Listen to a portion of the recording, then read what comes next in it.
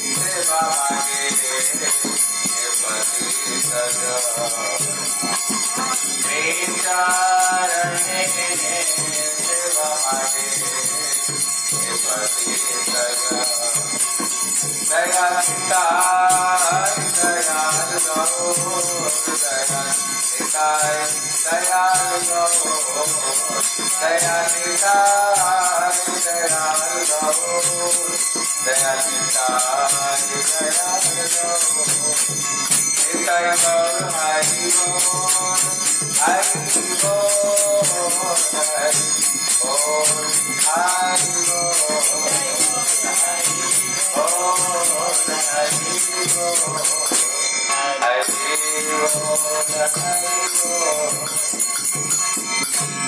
Hare Krishna.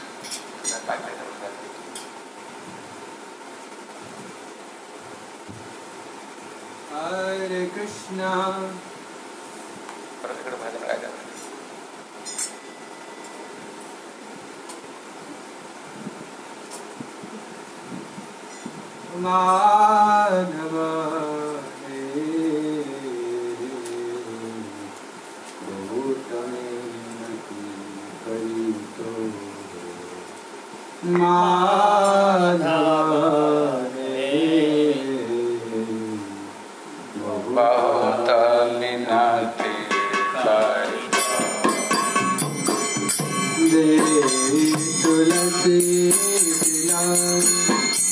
Jai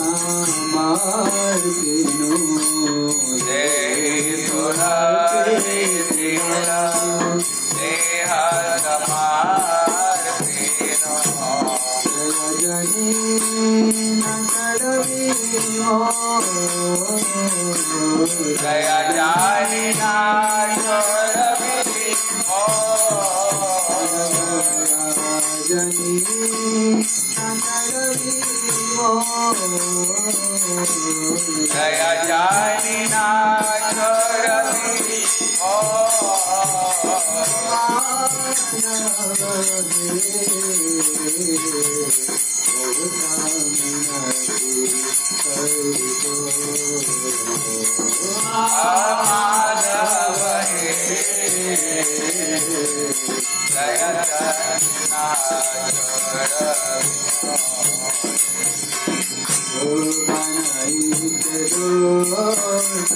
ગુણાલ ના પાવી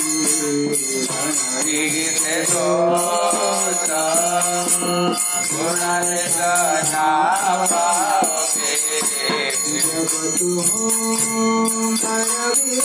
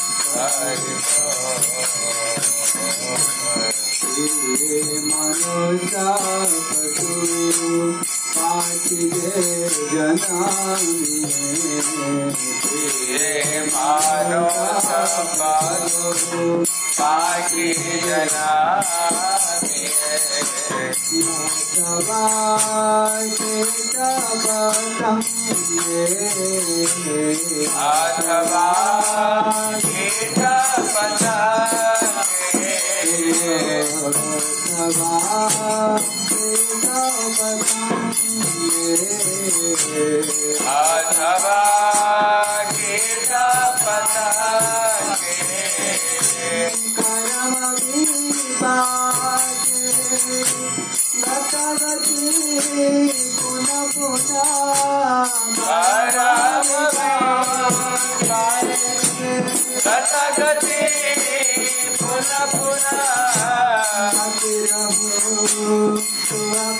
난 당신의 밤이야.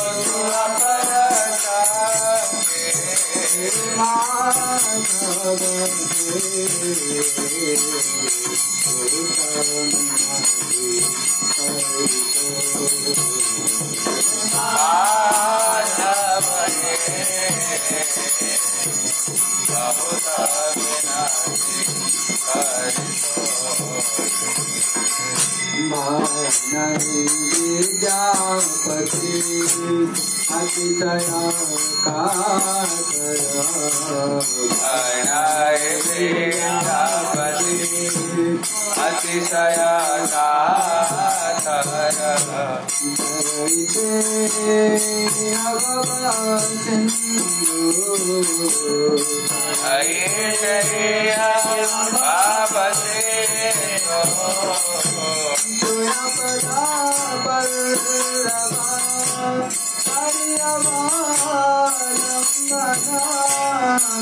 पल्लव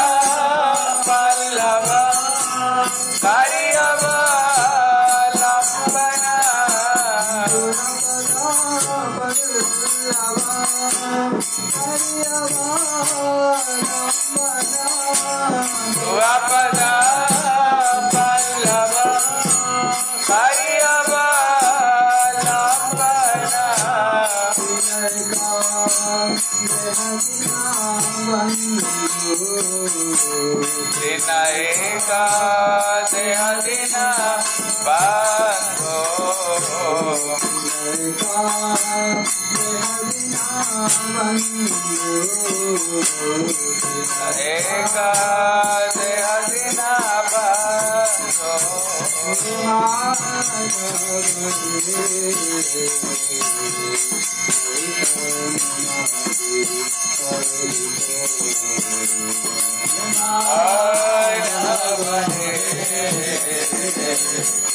बहुत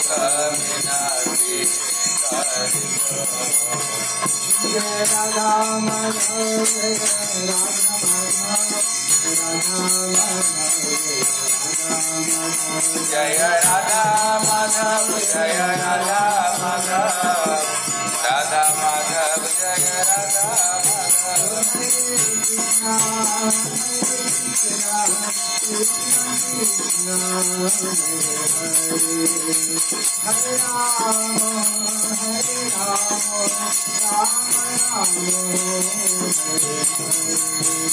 हरे कृष्ण कृष्ण कृष्ण हरे हरे हरे राम हरे राम राम राम हरे हरे हरे कृष्ण हरे कृष्ण कृष्ण कृष्ण हरे हरे हरे राम हरे Ram Ram Ram Hare Hare Hare Krishna, Hare Krishna, Krishna Krishna, Hare Hare, Hare Rama, Hare Rama, Rama Rama, Hare Hare.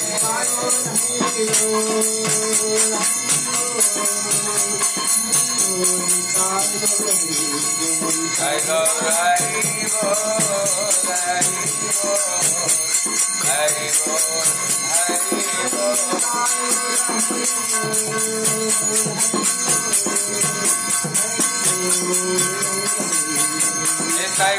Hari बोल। हरि। बोल हरि बोल दे हरि ओम ज्ञानतिमिरान्धस्य ज्ञानाञ्जनशलाकया चक्षुरुन्मिलितं येन तस्मै श्रीगुरवे नमः। गुरवे गौरचन्द्राय राधिकाय कृष्णाय कृष्णभक्ताय तद्भक्ताय नमो नमः। वाञ्छाकल्पतरुर्भस्य कृपा सिन्धुभैव च पतितानां पावनेभ्यो वैष्णवेभ्यो नमो नमः। नम महावदन्नाय कृष्णप्रेमप्रदायते। कृष्णाय कृष्णचैतन्य नाम्ने गौरतुसे नमः। हे कृष्णकरुणा सिन्धु दीनबन्धो जगत्पते गोपेश कपिशकान्त राधाकान्त नमस्तुते तप्त काञ्चन गौराङ्गी राधे वृन्दावनेश्वरी। वृषभानुसुत देवी, प्रणमामि हरिप्रिये। वृन्दाय तुलसीदेव्यै प्रियाय केशवस्य च कृष्णभक्तिप्रददेवी सत्यवतै नमो नमः। श्री कृष्ण चैतन्य प्रभु नित्यानंद श्री अद्वैत गदाधर श्रीवासादि गौर भक्त वृंद हरे कृष्ण हरे कृष्ण। कृष्ण कृष्ण हरे हरे हरे राम हरे राम राम राम बोल हरे कृष्ण हरे कृष्ण कृष्ण कृष्ण हरे हरे हरे राम हरे राम राम राम हरे हरे सर्वप्रथम मेरे गुरुपाद पद्म नित्य लीला प्रविष्णु विष्णु पाद अष्टोदर शत श्री श्री श्रीमाद भक्ति श्री रूप सिद्धांत गोस्वामी महाराज के चरण कमल में अनंत कोटि साष्टांग दंडवत प्रणाम करता तत्पश्चात मेरे शिक्षा गुरुपाद पद्म नित्य लीला प्रविष्णु विष्णु पाद, अष्टोदर शत श्री श्री श्रीमद भक्ति वेदांत श्रील, नारायण गोस्वामी महाराज के चरणों सरोज में श्रद्धा, पुष्पांजलि अर्पण करता उपस्थित वैष्णव वैष्णवी सभी को मैं यथायोग्य प्रणाम करता हूँ। हरे कृष्णा। गतकल हम लोग श्रवण कर रहे थे। कहते कलो जन्य मानानाम दुख शोक तमो निदम अनुग्रहाय भक्तानाम सुपुण्यम व्यतन तुजस बोले, कलिस कली कलो जलिस जनिष्य मानानाम दुख शोक तमो निदम। कहते कली युग में जो लोग जन्म ग्रहण करते हैं, विशेष करके ये युग कली युग है। इसलिए कली युग होने का नाते कली का ही ज़्यादा प्रभाव है। और कली का ज़्यादा प्रभाव होने का नाते लोग भी जगत में तब इतना दुखी है। क्योंकि सत्य युग में धर्म चार चरण में रहता था। इसलिए हम सुनते हैं सत्य युग में सब दान, पुण्य, भक्ति, भजन, सबके सब भगवान की भक्ति करते थे। इसलिए सत्य युग को कहते हो कृत युग कृत युग मतलब उसी समय में सबके सबका जीवन कृत कृत है। सबका जीवन, क्योंकि धर्माचार्य चरण में रहता था, सबके सब सुखी रहते थे। लेकिन जब धीरे धीरे धीरे धीरे तृतीया द्वापर कली आने लग गया, धीरे धीरे धीरे धीरे धर्म की हानि होना शुरू हो गया। और कली युग में आने पर तो कली केवल एक टांग के ऊपर खड़ा हुआ। वो भी, है धर्म केवल एक टांग के ऊपर खड़ा हुआ और एक टांग को तोड़ने के लिए भी कली कोशिश कर रहा है। बोले कली युग में कोई मैं धर्म कर्म रहने नहीं दूँगा, है? धर्म कर्म नहीं रहने दूँगा। इसलिए कली युग में क्या? तरह तरह कली युग में बाधा, विपत्ति, रोग तरह तरह का अशांति, दुख कष्ट जैसे भी कोरोना फ्लू आ गया है। इसलिए इसलिए यहाँ पर कहते हैं, कलो जनिष्य माना नाम दुख, शोक तम निदम विशेष करके कलिजुग में जो जन्म ग्रहण करते वो भी पापी लोग। लेकिन अभी जो कलिजुग इसको धन्य कली बताया। हर हर हर कली नहीं, ये कलिजुग का तो धन्य कली बताया गया। क्योंकि ये कलिजुग में जो जन्म ग्रहण करते हैं, एकादश स्कंद में बताया, देवता लोग भी कलयुग में भारत वर्ष में इंसान रूप में जन्म लेना चाहते हैं। क्यों? चैतन्य महाप्रभु कलयुग में आए। और विशेष करके इसी गौड़ीय संप्रदाय में जुड़ करके श्री चैतन्य महाप्रभु का चरणों को आश्रय करते हुए भजन करना चाहते हैं। इसलिए कलिजुग में जो तिलक लगाए घंटी महाप्रभु धारा में ना, ये भागवत कह रहा है। कहते, सत्य त्रेतया द्वापर युग। सत्य युग को क्या मानी गई? कृत्य युग है धर्मचार्य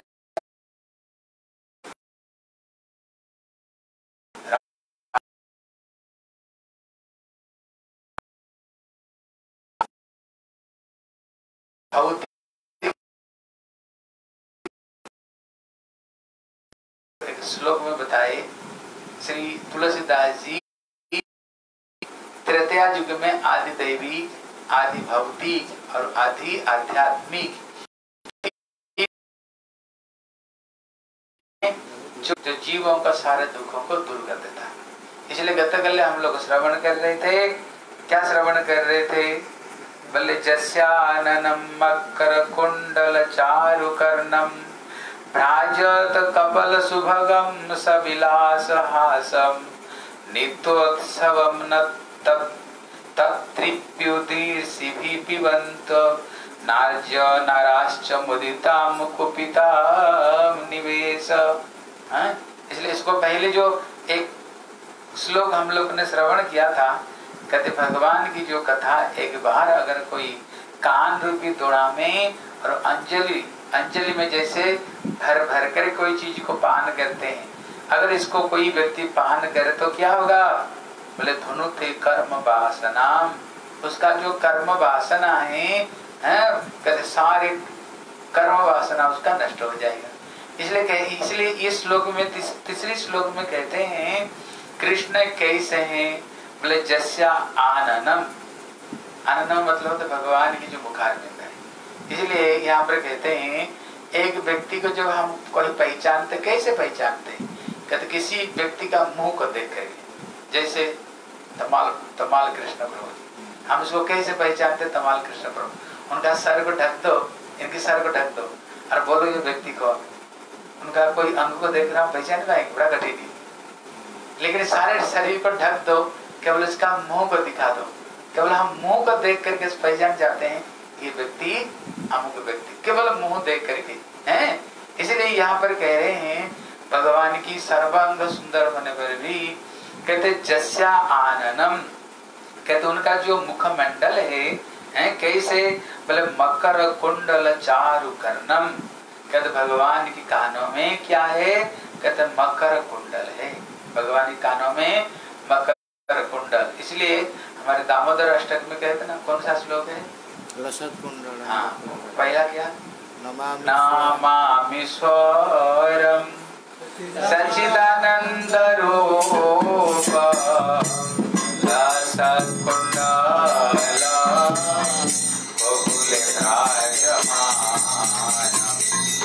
क्या सोदा पिया योगा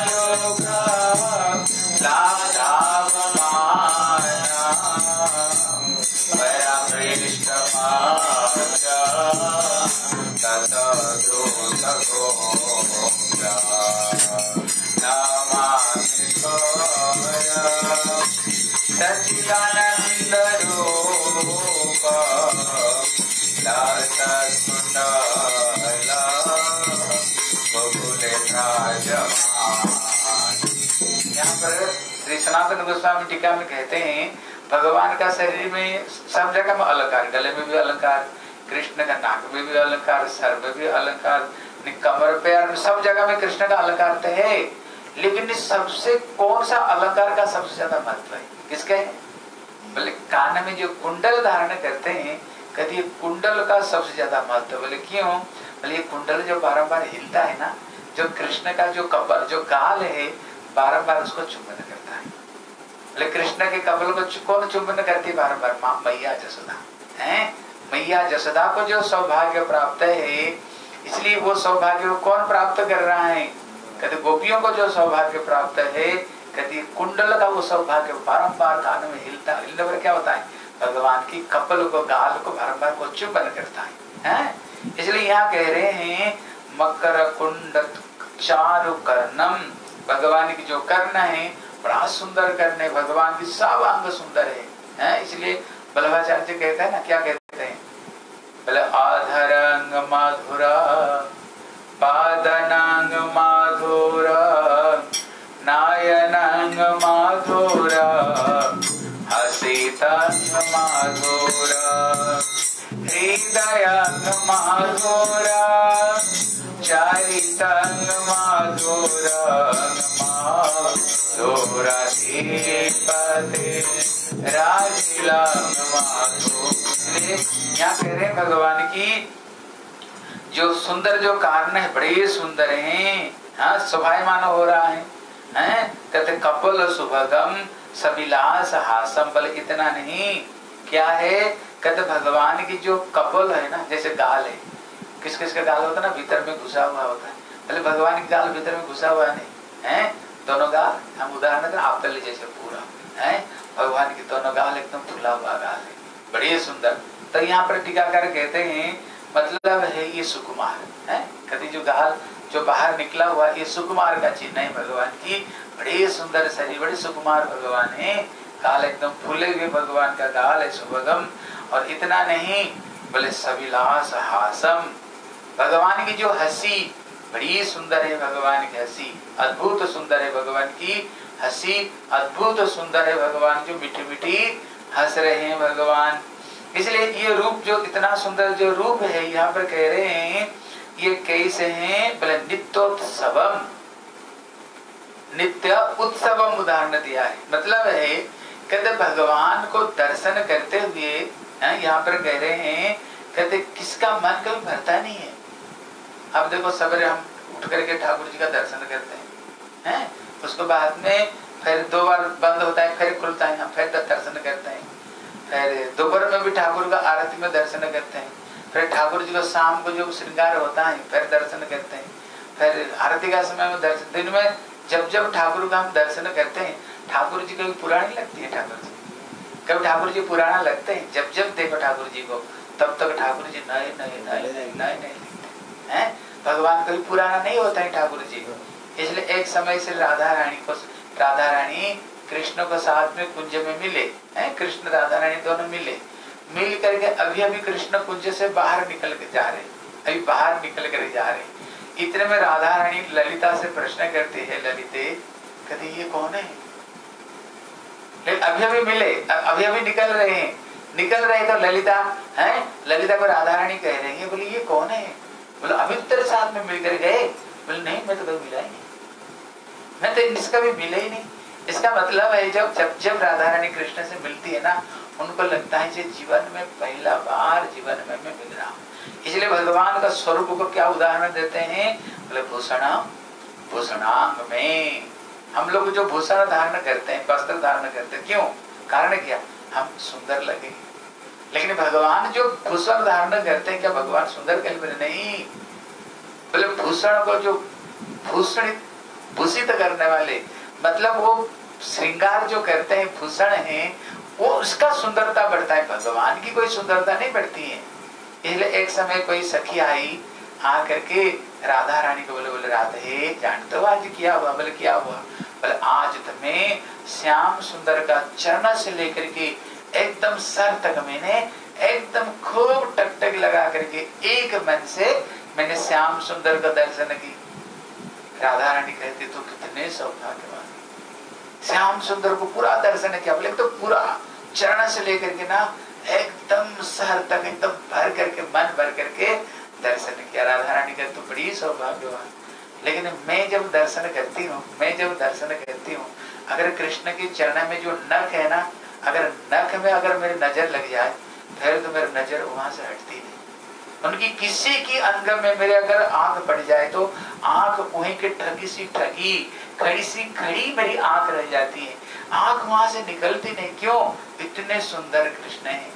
इसलिए कहते भगवान, ये वस्त्र क्यों धारण करते हैं? ठाकुर जी, वस्त्र क्यों धारण करते बोले, कारण है, भगवान इतने सुंदर इतने सुंदर है, किसकी नज़र नहीं लग जाए। ठाकुर जी को प्रेम किसकी नज़र नहीं लग जाए। इसलिए ठाकुर जी, ये ये क्या करते हैं ठाकुर जी? शरीर में ये कपड़े को धारण करते हैं, है? इसलिए इसलिए भगवान को यहाँ पर क्या बताए? बोले भूषणांग भूषणांग में हाँ इसलिए उदाहरण दिया है। कहते, एक सूरदास जी थे। कहते, जो सूरदास थे, सूरदास जानते हो? सूरदास, उधर उनको सूरदास इसका आँख नहीं। और सूरदास का तो नाम ही सूरदास है। तो वहाँ पर जो गोवर्धन में जो मंदिर है ना, गोवर्धन गए कि नहीं? जहाँ पर कृष्णा, जो, कौन सा ठाकुर? उनका। अरे बोलो। अरे जो गोवर्धन में जो हरिदेव। हाँ, हरिदेव। इसलिए हरिदेव। कहते हरिदेव को वज्रनाभ ने हरिदेव को वज्रनाभ ने स्थापन किया है।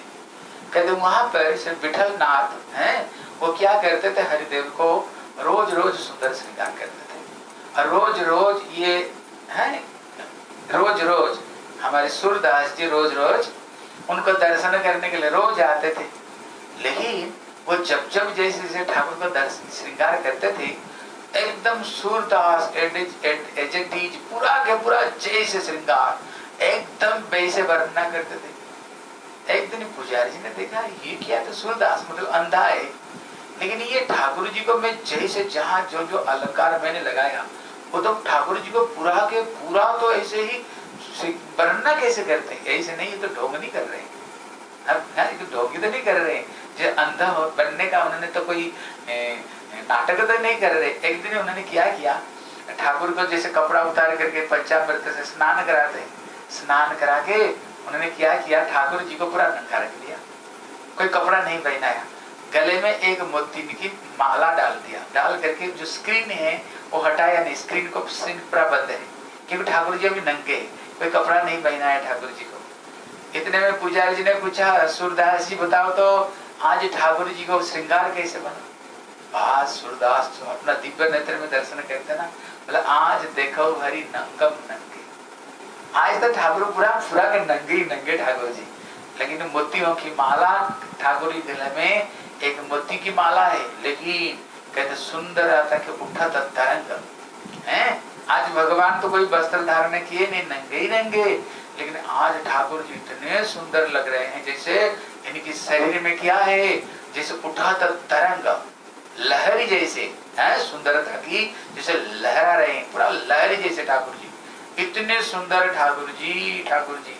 इसलिए जिस समय कृष्ण कुबले हाथी को मारे, दांत उखाड़ दिए कृष्ण बलराम दोनों भैया दांत उखाड़ करके कोई अस्त्र शस्त्र था नहीं जब दांत को उखाड़ दिए ना, हाथी का मुँह दांत से रक्त निकला। जब रक्त निकला, अभी कृष्ण का शरीर में खून की छिटका लगा हुआ। अगर किसी व्यक्ति का शरीर में खून की छिटका लगा हुआ, बता तो कैसे लगेगा? अच्छा लगेगा? खून लगने पर अच्छा नहीं लगता है। लेकिन उसी समय में भी कृष्ण का शरीर इतने कृष्ण सुंदर लग रहे थे, इतने सुंदर कृष्ण लग रहे थे, सारा शरीर में खून लथपथ है। लेकिन उसी समय कृष्ण जब रंगशाला में प्रवेश करते, क्या देखते हैं? मल्ला नाम असन नाम स्त्री नाम स्मर मूर्तिमान उसी समय में कृष्ण का शरीर में एक साथ में द्वादश रस कृष्ण को शरीर में प्रकट हुआ। स्त्रियाँ देख रही थी जैसे साक्षात काम देव माताएँ देख रही थी, क्या देख रही थी माताएँ?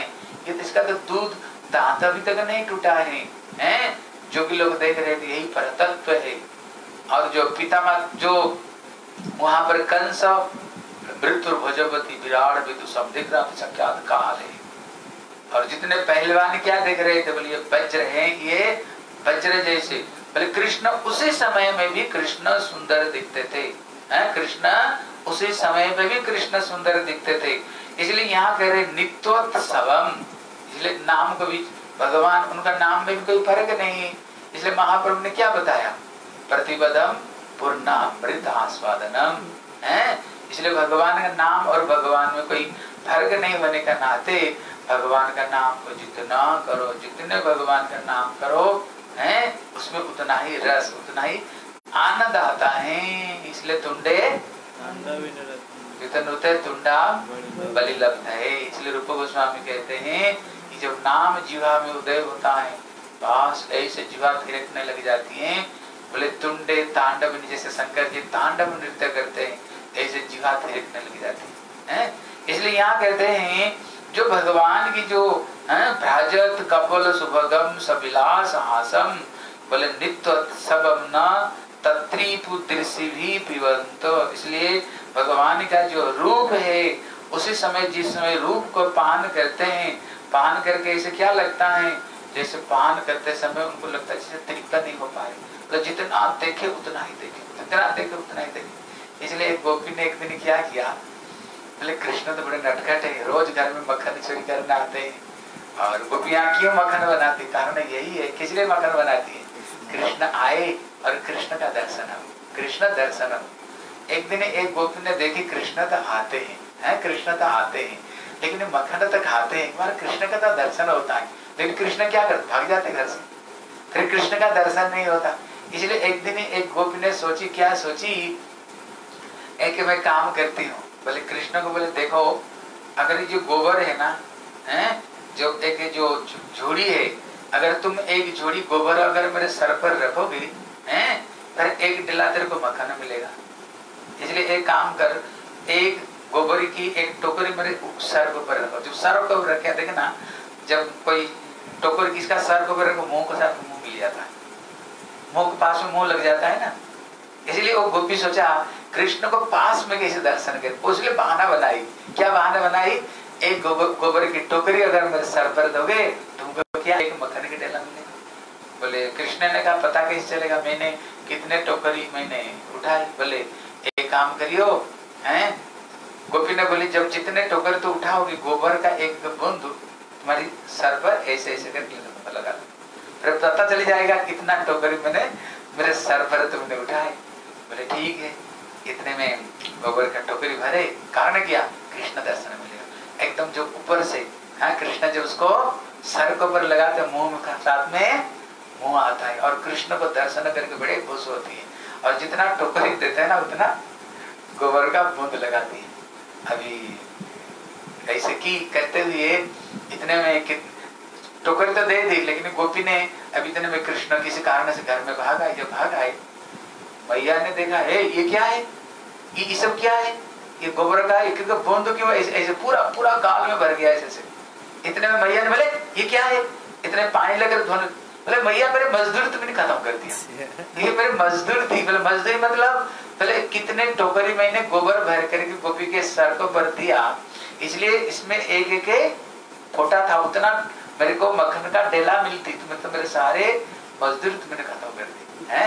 मेरे सारे मजदूर तुमने खत्म कर दी इसलिए एक गोपी सोच रही है, कृष्ण तब मक्खन खाते हैं, फिर भाग जाते हैं। इसलिए एक दिन क्या करूँगी, मैं तो बाँध करके रखूँगी। और बाँध कर रख करके ना, एकदम पास में बैठ कर कृष्ण को खूब निहार एकदम जी भर कर कृष्ण का दर्शन करूँगी। इतने में गोपी मटकी में मक्खन भर दी, भर करके रख दिया और कोने में, दरवाजे कोने में छुप कर बैठ गई बैठ गई तो इतने में कृष्ण आए। इधर देखा इधर देखा इधर देखा। कोई नहीं है तो बोले कोई है ही नहीं। कृष्ण बिल्ली जैसे धीरे धीरे गए, पास मक्खन खाने लग गए।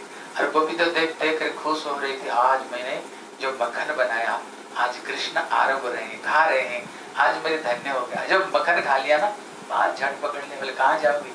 रोज रोज मक्खन खा कर भाग जाते तेरे को मैं।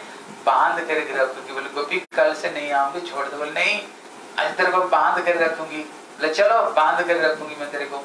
ले गए। बोले खंबे के ऊपर हाथ रख। अभी कृष्ण खंबे के ऊपर हाथ रखे, अपना रिबन पिता को निकाले और जो बांधने के लिए जाए, कृष्ण का हाथ तो बड़े कोमल है। वो बांधने नहीं है खिसक जाए। इतने में कृष्ण ने बोला, गोपी, कभी तुमने बंदी गई कि नहीं? बोले नहीं। बोले, जब बंदी नहीं जाओगी बांधो कैसे सिखो कैसे? बोले, तेरे को आता है। बोले, और क्या? बोले, सिखाते बोले, हाथ रख। अभी तेरे को मैं सिखाता हूँ। बस, एक लपटे दो बार, बस, उसको गांठ अच्छे तरह से लगा दे बोले, बड़े सुंदर तुम गांठ लगाना। आता बोले, और क्या? तेरे को क्या? बड़े बड़े जोगियों को बड़े बड़े ज्ञानियों को भी बाँध देते इसलिए कहते, कृष्ण को दर्शन, है? ये गोपियाँ कृष्ण को रोज दर्शन करती हैं, लेकिन जब जब भगवान को दर्शन करती हैं, तब तक उनको आँखों के सामने कैसे लगती हैं? बोले, नित्य उत्सव। इसलिए यहाँ पर टीकाकार यहाँ पर बताया, जो भगवान, लेकिन हम, हमारी अभी नहीं हो रहा है। लेकिन हमारी हो रहा है थोड़ी बहुत जैसे ठाकुर जी को जब जब दर्शन कर तब तक लगता है जैसे ठाकुर जी नहीं। ठाकुर कभी पुराना लगता है, नहीं लगते हैं। लेकिन अभी हमारी पूरा नहीं हुआ। कारण क्या है? क्योंकि उनको एक बार कोई दर्शन कर लेना फिर उनको दर्शन करने के बाद और किसी चीज़ को दर्शन करने की इच्छा नहीं रह जाएगी। है? ये और किसी चीज़ की। लेकिन हमारी क्या है? अभी हमारी जो इंद्रियाँ, बहिर्मुख इंद्रिया है, बहिर्मुख इंद्रिया है। एक तरफ़ में ठाकुर को रख लो, दूसरे तरफ़ में कोई नाटक न हो। हैं? उल्टा पुल्टा डिस्को ध्यान से रख दो बीच में किधर जाओ? और ठाकुर का तरफ़ भी कोई नहीं जाएगा। हैं? ठाकुर का तरफ़ भी नहीं जाएगा। हम कथा कर रहे थे उड़ीसा में कहीं पर वहाँ पर कथा कर रहे थे, वहाँ पर ऐसे कथा के बाद में वहाँ पर ऐसे था। हाँ वहाँ पर हाँ शिलापुर हाँ शिवपुर में था। शिवपुर बाबा क्या लोग। हाँ वहाँ पर क्या लाइट पड़ा हुआ था। कितने भर गए लोग। और कथा में कुछ लोग थे कथा में, लेकिन कथा का लोग भी भाग गए उधर लास्ट में। उधर भाग गए। इसलिए यहाँ पर कह रहे हैं, यहाँ पर विश्वनाथ ठाकुर कह रहे हैं, कहते जो कहते जो यहाँ पर जो श्लोक में बताए, हैं मुदी तो कुपित निमेश आँखों का पलक झपते ही जो समय है, उसको भी गोपियाँ निंदा करती हैं, ठाकुर जी ने हमको, ये दो आँख तो दे दिया। पलक उसमें कर बीच बीच में ये पलक जपती हैं हैं। इसलिए रस्सी की व्यक्ति तो वही है जिनका पल काट दिया गया। बस आँख एकदम खुली रहे और कृष्ण को टक टक लगा करके हम दर्शन करें कृष्ण को। हरे कृष्ण। कृष्ण को हम दर्शन करें। इसलिए कहते ये किसका लक्षण है? तब विश्वनाथ चक्रु ठाकुर कहते हैं कहते ये महाभाव का लक्षण है, है? महाभाव स्वरूप है श्री राधा ठाकुरानी। ये महाभाव का स्वरूप है। जब ये अवस्था आएगी है? जब ये अवस्था आएगी ये महाभाव का लक्षण है, जो कृष्ण को जब जब दर्शन करो, तब तक ऐसे लगे हमने कभी कृष्ण को दर्शन किया ही नहीं जीवन में। पहला बार हम कृष्ण दर्शन कर रहे हैं। हैं कृष्ण दर्शन कर रहे हैं। इसलिए उसको बाद में श्री सुखदेव गोस्वामी कहते, जात गत प्रति गृहाद ब्रज मेदितार्थ हत्वा रिपुन सुत सतानि कृत रुदार। तो ये श्लोक में यहाँ पर जब सुखदेव अभी अभी दसम स्कंद प्रारंभ होगा दसम स्कंद प्रारंभ जब होगा, इतने में श्री सुखदेव गोस्वामी जैसे हम लोग कथा करते हैं, उनका तो कथा ऐसे नहीं था, वो कैसे? उनके हृदय में भक्ति जोगेन सम्यक प्रणहित अमले अपस्यम पुरुषम पूर्णम माया तथपासे सुखदेव गोस्वामी से नहीं, उनको जैसे उनको जो दिव्य नेत्र में वो जैसे जैसे दर्शन करते थे, वो कथा को ऐसे ऐसे सुनाया करते थे।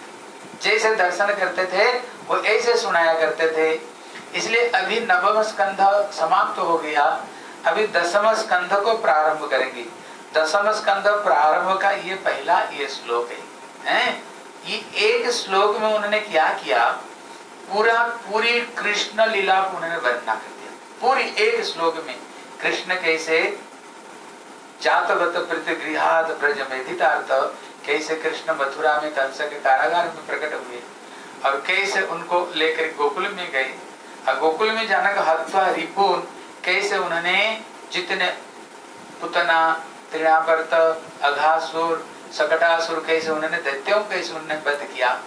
वध करने के बाद कैसे सुत सतानी, कैसे उसके बाद में कृष्ण ब्रज लीला समाप्त होते, कृष्ण कैसे गए मथुरा में कंस को कैसे वध किया?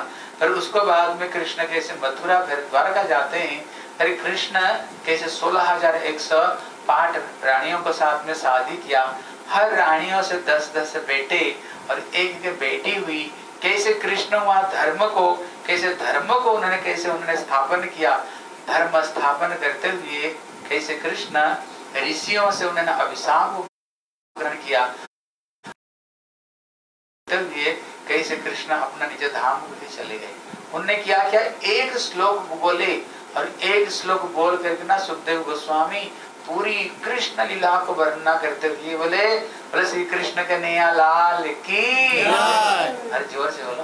बोले श्री कृष्ण कन्हैया लाल की बस उन्होंने ये बोल करके ना एकदम चुप हो गए।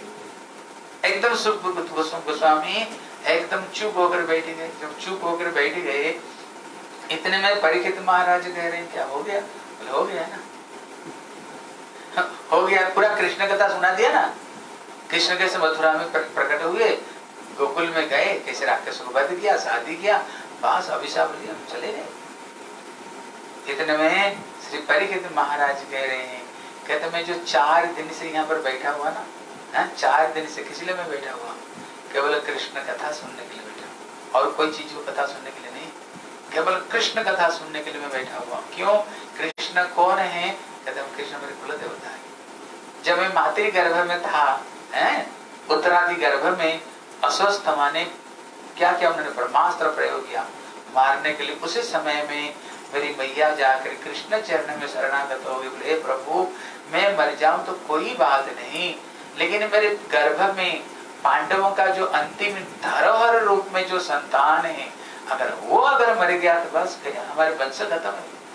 फिर पिंड देने के लिए कोई नहीं रह जाएगा। इसलिए मैं मर जाऊँ तो कोई बात नहीं, लेकिन मेरे जो अंतिम संतान को आप रखेगा इस समय कृष्ण ने क्या किया?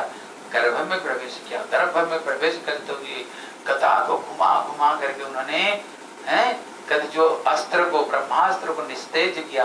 निस्तेज करते हुए उन्होंने उनका रक्षा किया। इसलिए उन्होंने जन्म लेते ही गर्भ में दर्शन किया था, इसलिए जन्म लेते ही सबको परीक्षा कर रहा था, मेरे कृष्ण कहाँ है? इसलिए उनका नाम पड़ गया परीक्षित। इसलिए कृष्ण मेरे कुल देवता हैं। और इन्होंने ही मातृ गर्भ में रक्षा इन्होंने ही किया। और इसलिए तो यहाँ बैठा हूँ केवल कृष्ण कथा सुनने के लिए, और कोई नहीं, कृष्ण कथा। इसलिए कृष्ण कथा सुनने के लिए बैठा। लेकिन अब तो पूरी जैसे हमारे अगस्त मुनि ने क्या किया? एक चूल भर में पूरा के पूरा समुद्र मंथ। उन्होंने क्या किया? सबके पूरा के पूरा एक चूल भर में समुद्र पानी को जैसे पान कर लिया। अब तो अगस्त मुनि जैसे पूरा एक श्लोक में पूरी कृष्ण कथा सुना दी। इसलिए मेरे को तृप्त नहीं मिला। मैं तो चाहता हूँ कृष्ण कथा को आप विस्तृत रूप में वर्णना करो। इसको अब विस्तृत रूप में वर्णना करो। तो यहाँ पर प्रश्न आता है, फिर सुखदेव गोस्वामी ने, फिर उन्होंने फिर एक श्लोक में क्यों? सारे एक श्लोक में पूरी कृष्ण कथा क्यों सुना दिया? उसका दो तीन कारण यहाँ बता रहे हैं। हैं? कहते, एक कारण यहाँ बता रहे हैं, जैसे श्री सुखदेव गोस्वामी को, सुखदेव गोस्वामी कौन है?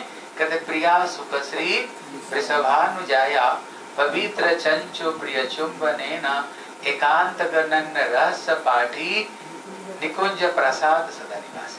ये सुख, कोई साधारण सुख नहीं है? ये कौन बोले? प्रिया सुख श्री वृषभानुजाया। कभी राधा रानी की प्रिय सुख है और कृष्ण का भी सुख है। केवल राधा जी की नहीं सुख, ये कृष्ण का कृष्ण का भी ये सुख है। इसलिए कभी राधा जी के हाथ से उड़ते हुए कभी ये कहाँ चला जाता है? कभी श्री नंदगाम चले जाता है।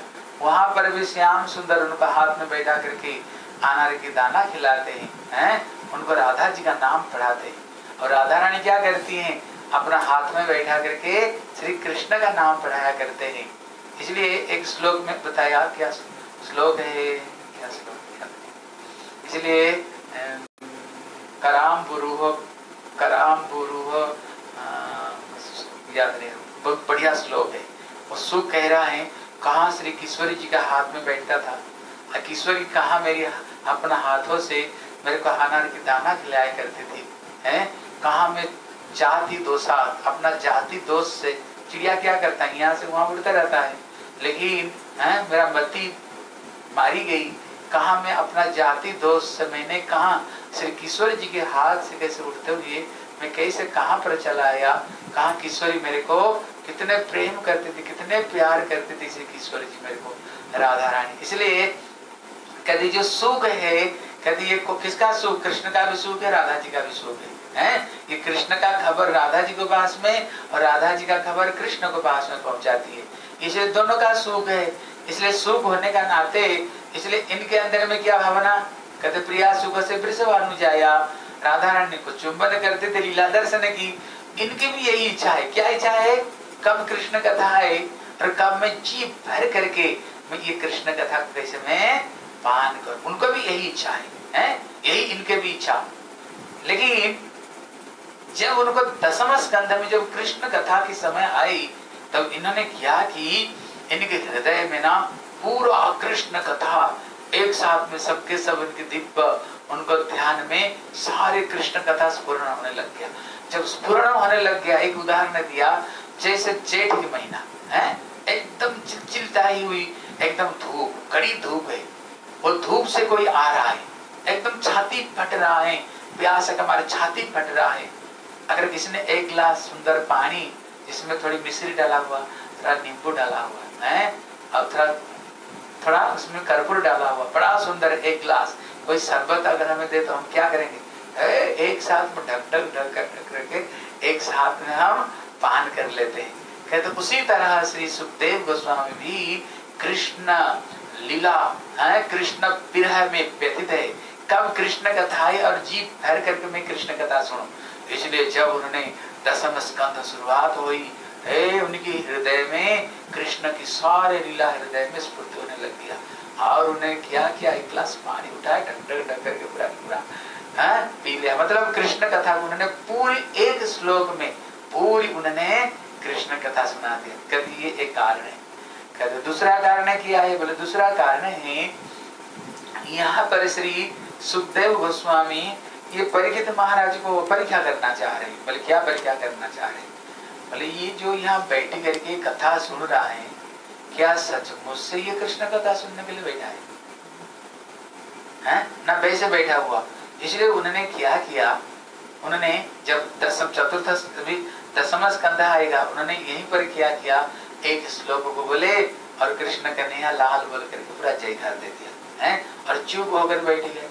इतने में सुखदेव गोस्वामी बोले परीक्षित चार चार दिन हो गया। अभी जैसे हम कथा सुन रहे ऐसे कथा नहीं सुन रहे थे। पूरा दिन रात कथा सुन रहे थे, पूरा। खाना पीना पैसा, पायखाना बंद, है? ऐसे सात दिन तक कथा सुने। इसलिए उन्होंने, जब उन्होंने, जब दसम स्कंद कथा आएगी, परीक्षा करने के लिए बोले परीक्षित चार दिन हो गया, तुम बैठे हुए हो, लेकिन अभी तक एक बूंद पानी भी तुमने नहीं पिया। अरे, एक बूंद तो पानी तो पी ले। फिर कथा सुनाएँगे। परीक्षित महाराज बोले, प्रभु ये जितने झगड़ा हुई किस लिए पानी के लिए तो ना? मैंने, मेरे को तृष्णा लगी और गया ऋषि के पास में, पानी मांगा। ऋषि ने पानी नहीं दिया, मरा हुआ सर्प पड़ा हुआ था, उठाए गले में मैंने डाल दिया। और उसको बेटा श्रृंगी ऋषि ने मेरे को अभिशाप दे दिया। तभी तो जितना गड़बड़ी, फिर पानी के लिए तो जितना गड़बड़ी हुई ना, फिर आप पानी की बात क्यों कर रहे हो? इसलिए पानी की बात मत करो। आपकी जो मुखार बिंद है, हैं, आपका जो मुखार बिंद दर्शन करते हुए और आपकी कथा रूपी अमृत को पान करते जैसे चकोर चकोर होता है ना, चकोरा चिड़िया होता है, वो क्या करता है? जैसे हम भजन कहते हैं ना, मानस चंद्र चकोर, मानस चंद्र हाँ चकोर। उसी तरह आपका मुखार बिंद रूपी जो चंद्रमा से कृष्ण कथा रूपी जो मंदाकिनी की धारा, जो एक तेज निकल रहा है वो कथा को पान करते करते करते करते मैं तृप्त हो रहा हूँ। इसलिए अब पानी की बात मत करो। आप जो कथा सुना रहे थे, वो कथा को कंटिन्यू सुनाते रहो कथा को बंद मत करो। कथा बंद होते ही हृदय में फिर प्यास की जागृत हो जाएगी। इसलिए कथा को बंद करो। बस इतना सुन करके तो सुखदेव गोस्वामी खुश हो गए। वाह। श्रोता, ऐसे होनी चाहिए। कृष्ण कथा को ही जीवन जिसने, पूरा जीवन में कृष्ण कथा को ही जिसने पूरा अमृत पान मान लिया और केवल कथा सचमुच से ही कथा सुनने के लिए ही बैठा हुआ। इसके हृदय में और किसी तरह का पीछा नहीं, है? इसलिए इसको सुन करके उन्होंने क्या किया, है? फिर उन्होंने कृष्ण कथा की उन्होंने प्रारंभ करते हैं। बोले, कथितो वंश विस्तारो, भवता सोम सूर्ययो राज्ञाम च भया वंशानाम चरितम परमाद्भुतम। अगर तुम लोग इसको सब नोट कर दोगे ना इस विश्वनाथ टीका है, है जब टीका को बात है अगर इसको नोट कर दो पूरा कृष्ण कथा अगर कहीं बोलना होगा जिस महाराज ने सब नोट किया है अगर इसको नोट कर लो पूरा कहीं अगर कथा सुनाने के लिए जाओगे और कहीं कृष्ण कथा सुनानी है बस यही कृष्ण कथा सुना सकते कथा को जितना नोट कर रहे हो पूरा कृष्ण कथा तुम्हारी मतलब बन जाएगा पूरा। भागवत की ही बन जाएगी। इसलिए यहाँ पर कह रहे हैं कहते ये जो दसम स्कंद की जो कथा है, भागवत का दस लक्षण है। अत्र सर्ग विसर्ग स्थान पोषण होता है उसमें दस, भागवत का दस लक्षण है, हैं? दस लक्षण में कहते जो दसम स्कंद का जो लक्षण है, क्या लक्षण है? कहते ये आश्रय। इसका लक्षण है, आश्रय। आश्रय मतलब क्या है? कहते भक्तों का आश्रय क्या है? भक्तों का आश्रय क्या है? बोले भगवान की कथा ही आश्रय है इसलिए वहाँ पर बता रहे थे, जैसे जिस समय ज्ञान वैराग्य बूढ़े हो गए, ज्ञान वैराग्य जब बूढ़े हो गए, जब नारद भ्रमण करते करते वहाँ पर पहुँचे तो वहाँ पर उन्होंने जितने सारे वेद, वेदांत, उपनिषद, सारे उन्होंने, सारे बात उनको कान में सुनाया कहते गीता तक भी सुनाया, है? लेकिन सुनाने पर उनको ज्ञान नहीं ज्ञान मेरा ज्ञान नहीं हुई। बोले, क्या, क्यों नहीं हुए? बोले, इसका एक दो कारण बताते हैं। पहला कारण बताते हैं, उसमें जो गीता सुनाने पर भी क्यों ज्ञान नहीं हुआ? बोले, इसमें अठारह अध्याय प्रथम जो छह अध्याय कर्म, बीच में जो छह अध्याय भक्ति की बात, और लास्ट जो छह अध्याय ज्ञान की बात है। उस, वहाँ पर भी पूर्ण रूप में कहीं ना कहीं ज्ञान मिश्रा भक्ति, कर्म मिश्रा भक्ति की वर्णना की गई है, वहाँ पर है। बीच में जो छह अध्याय ये भक्ति की बात है। इसलिए और ये एक कारण दूसरा कारण कहते हैं कहते मन को जो तृप्त मिलता है ना कथा से। मन को जो रस मिलता है वो कथा से ही रस मिलता है, है भगवान की कथा से। है भगवान की कथा में जो रस है जो आनंद है कहते वो आनंद और कहीं नहीं। आनंद कथा में रस है, है? इसलिए भागवत में क्या है? कथा है। रस। है। हाँ इसलिए इसमें रस है। हैं? भागवत में रस है इसलिए वहाँ पर क्या बताए? हृत कर्ण रसायन कथा। इसलिए भगवान कहते हृत और कर्ण कर्ण और हृदय को ये रस देने वाले ये कृष्ण कथा है हैं। और भक्तों का आश्रय क्या है? हैं? आश्रय क्या है? आश्रय है कृष्ण कथा ही भक्तों का यही आश्रय। आश्रय भगवान कथा, क्योंकि कथा में ही रस है। इसलिए दसम स्कंध में तो विश्वनाथ को जो टीका लिखे कभी महाराज अब कथा को सुनाएँगे। गीता को बाद में भागवत शुरू करेंगे। कुछ वेदांत सूत्र कुछ पढ़ा करके करेंगे। देखना कृष्ण कथा जब आएगा ना, क्या हमारे टीकाकारों ने, क्या उन्होंने अर्थ बताए, है? क्या आनंद कथा में, है? कथा रस में। इसलिए इसलिए कहते हैं, ये दसम स्कंध का लक्षण, ये आश्रय है। इसलिए आश्रय क्या है? आश्रय भगवत कथा ही जीव का आश्रय है। और भागवत को क्या बताए? इसमें पादो जदियो, प्रथम द्वितीय, तृतीय तृतीय कथित इसलिए दसम भागवत द्वादश स्कंद। द्वादश स्कंद में प्रथम द्वितीय स्कंद भगवान की दो चरण तृतीय चतुर्थ स्कंद भगवान की दो पंचम स्कंद नाभि। षष्ठ सप्तम स्कंद दो हाथ। अष्टम स्कंद बख्यस्थल नवम स्कंद कंठ। दसम स्कंद मुखारविंद एकादश स्कंद ललाट और द्वादश स्कंद भगवान का सर, है? सर। अभी जो जो द्वादश स्कंद है, लेकिन उसमें जो सर्वश्रेष्ठ स्कंध कौन सा है? कहते प्रफुल्लम दसम स्कंध है? इसलिए जैसे बता रहे थे ना, हम एक व्यक्ति को कैसे पहचानेंगे? क्या देख करके एक व्यक्ति को पहचानेंगे? बुखार भी देख करके। और एक व्यक्ति दुखी ना सुखी कैसे पहचानेंगे? बुखार बिंद को देख करके हम पहचान जाते, भैया, ये अमुक व्यक्ति है। लेकिन एक व्यक्ति दुखी ना, सुखी कैसे पहचाने? उनका आँखों को देखे दुखी और विशेष करके हँसी, है? एक व्यक्ति अगर खिलता, हंसता हुआ मुख देखेंगे ना, क्या समझ में आदमी सुख। अगर मुँह पर लटका हुआ, दुखी हो फिर भैया, ये व्यक्ति दुखी है। इसलिए कहते भागवत का जो सार है, उसके दसम स्कंध है दसम स्कंध में विशेष करके जो हसी उसमें किया रासलीला। हँसी रासलीला, है? इसलिए पूरी कथा में जो रासलीला का जो कथा है, कहते रास नहीं, वो रस रसा नाम समय थी रास, है? इसलिए जिसमें श्री राधा रानी की महिमा को विशेष करके कृष्ण, वहाँ पर जितने गोपियाँ रहते हुए भी, लेकिन कृष्ण सब गोपियों को छोड़ करके कैसे केवल राधा जी को लेकर गए और सुखदेव गोस्वामी जहाँ डिक्लेयर करते हैं अनयाराधित नाम भगवान हरि ईश्वर राधा रानी है। इसलिए सुखदेव गोस्वामी कहते, भले ही यहाँ पर स्वपक्ष विपक्ष तटस्था सब के सब थे, लेकिन हमारे श्याम सुंदर किसको लेकर गए हैं? बोले हमारी ईश्वरी, क्योंकि प्रिया सुख श्री वृषभ जाया। इसलिए सुखदेव गोसाई मानो, जैसे दो पक्ष में अगर लड़ाई हो, जिस पक्ष के व्यक्ति जीत जाता है, क्या करता है? शंख बजाता है। शंख बजा करके कहते, हमने जीत गए। कहते जो श्लोक है ये धैर्यनाद करते हैं सुखदेव गोस्वामी। क्यों? सुखदेव कौन? प्रिया सुख श्री वृषभानुजा राधा रानी क्या प्रिय सुख? इसलिए उन्होंने शंख कहते वो श्लोक जो है ना, वो शंख बजाए। पूरी गोपियों में एक सर्वश्रेष्ठ कौन है? बोले, हमारी किशोरी श्रीमती राधा रानी इसलिए यहाँ विश्वनाथ ठाकुर कह रहे हैं, कभी जो दसम स्कंद है, कभी ये आश्रय है। भक्तों का आश्रय क्या है? भगवत कथा। ये दसम स्कंध ही जीवन का ये आश्रय हमारी बननी चाहिए।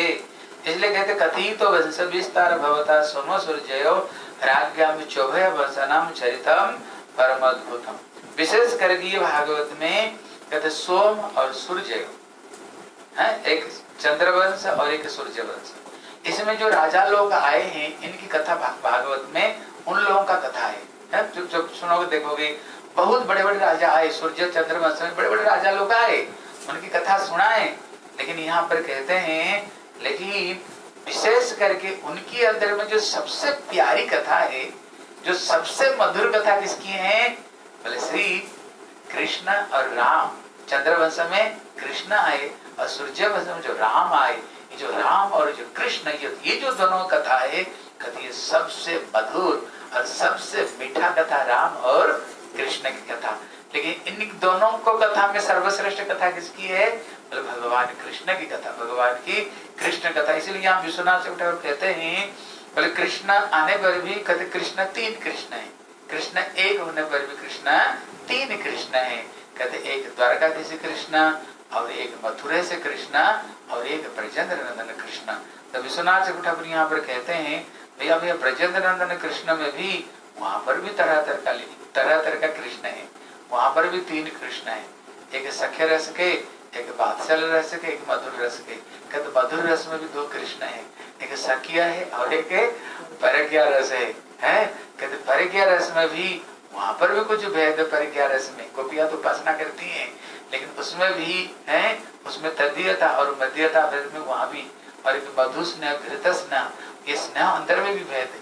हमारे गोस्वामी लोगों ने जो टीका में बताया ना, वो अद्भुत अद्भुत बात होता है हैं? ये मधु स्नेह किया है, घृत स्नेह किया है तदीयता और मदीयता कहते उज्जवल निन्वरी में उन्होंने इसका सब भेद उन्होंने दिखाया इसलिए लेकिन हमारी आराध्य देव कौन है?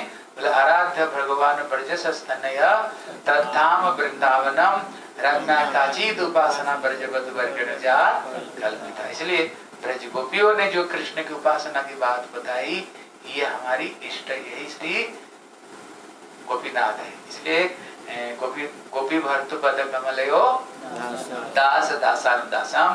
गोपियों के जो भरता कृष्ण, उनका दासों के दास का हम दास है। इसलिए फिर हम कल सुनेंगे, इसके बाद फिर क्या होता है ठीक है? निताई गौर ब्रह्मानंदे हरि। बोले श्री कृष्ण कन्हैया, लाल की। वंशाकल्पतरुभ्यश्च कृपा सिन्धुभ्येव च पतितानां पावनेभ्यो वैष्णवेभ्यो नमो। नमः हरे कृष्ण हरे कृष्ण। कृष्ण कृष्ण, हरे हरे। हरे राम हरे राम। राम राम, हरे हरे। हरे कृष्ण हरे कृष्ण। बोलो।